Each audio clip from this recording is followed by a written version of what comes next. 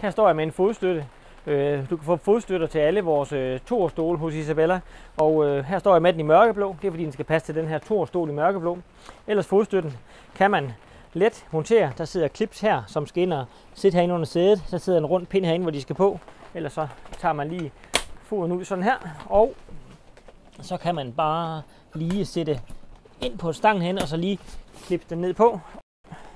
Så kan man sætte sig op her, have benene oppe, og så sidder man rigtig behageligt i sådan en stol. Og skal man have den af igen, jamen øh,